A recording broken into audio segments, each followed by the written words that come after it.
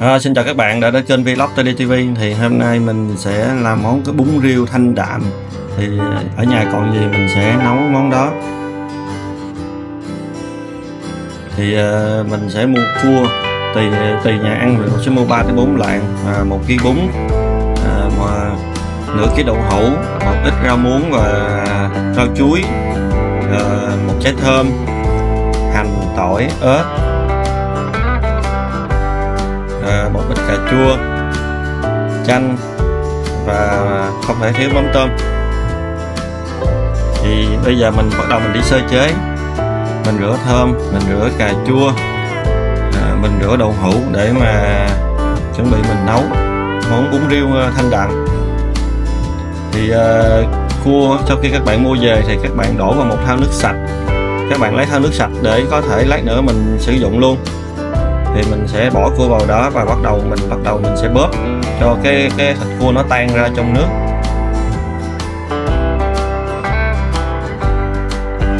Các bạn bóp đều để cho cái thịt cua nó tan ra nha. Thì lúc đó các bạn nấu thì lúc đó cái cua nó mới ngon được. Thì sau khi mình bóp ra thì mình bắt đầu mình sẽ luộc lại để mình ăn sẽ không có bị sảm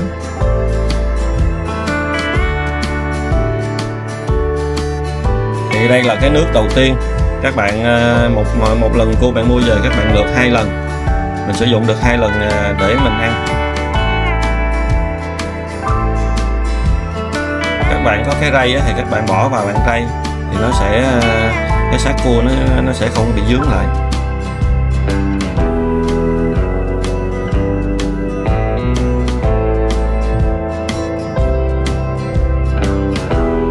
Đây, đây là cái mình ray cua lần thứ hai.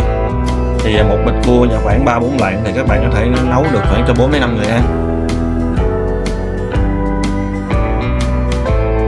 Thì à, sau khi các bạn đã luộc cua xong thì các bạn có thể à, nếu như các bạn muốn ăn mà cua nó nổi theo lớp thì các bạn để nước nó nguội các bạn chế cua vào luôn. Còn mình thì mình thích ăn nó tan ra nên mình sẽ để nước hơi nóng là mình sẽ chế cua vào thì tùy các bạn. Các bạn có thể chọn cách là chế cua vào lúc nước nguội. Nó sẽ thành từng mảng, hoặc chế cua nước nóng. Nó sẽ tan ra. Thì nếu để nước nguội thì nó sẽ dính từng mảng nhiều hơn. Còn nếu mình để nước nóng thì nó sẽ tan ra như vậy. Tại vì mình cho bé ăn thì mình nóng vậy cho nó ngon. Thì bắt đầu mình sẽ bỏ hành hành à, hành tím vào để cho nó thơm.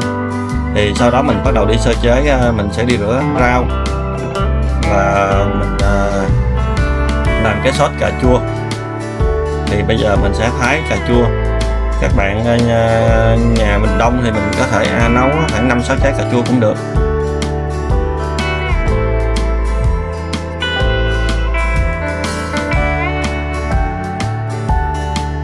Các bạn à, thái hành tím để phi vào chung cho nó thơm.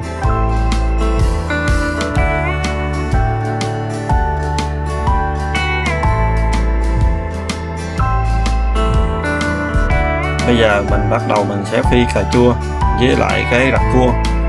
Ờ, và mình sẽ đổ vào trong cái cái cái nồi bún riêu để ăn cho nó béo hơn. Thì sau khi ờ, các bạn đảo sơ hành với tỏi nó hơi vàng thì mình sẽ đổ cà chua vào. Mình đảo nhanh tay để cho nó ra cái chất ngọt và cái chất chua trong cà. Sau đó các bạn thêm một ít ờ, bột cà no đây là rạch cua. Khi bạn mua mình ờ, người ta sẽ cho bạn một bịch rạch cua này. Để các bạn đổ vào, các bạn ờ, phi lên cho nó thơm. Và nó sẽ không bị tanh.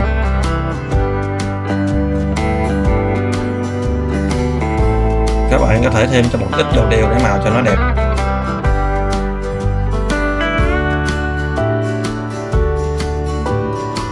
Thì sau khi phi xong mình sẽ đổ cái hỗn hợp ra vào nồi bún riêu ăn ờ, các bạn sẽ thấy nó béo hơn. Sau đó mình sẽ bỏ tàu hũ vào. Các bạn nêm nếm vừa ăn theo khẩu vị của nhà mình. À, mình sẽ cho thêm một chút me. Ở đây mình sẽ dùng me bột. Nếu các bạn có me me me trái thì các bạn bỏ vào ờ, để cho nó có vị chua chút xíu cho nó ngon.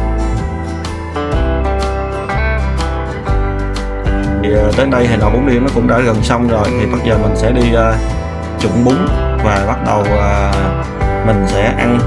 Thì cái video nấu bún riêu thanh đạm đến đây thì mình xin hết. Mình không có nấu giò mình không có ốc, bao ốc tại vì mình ăn đơn giản để cho bé nó dễ ăn.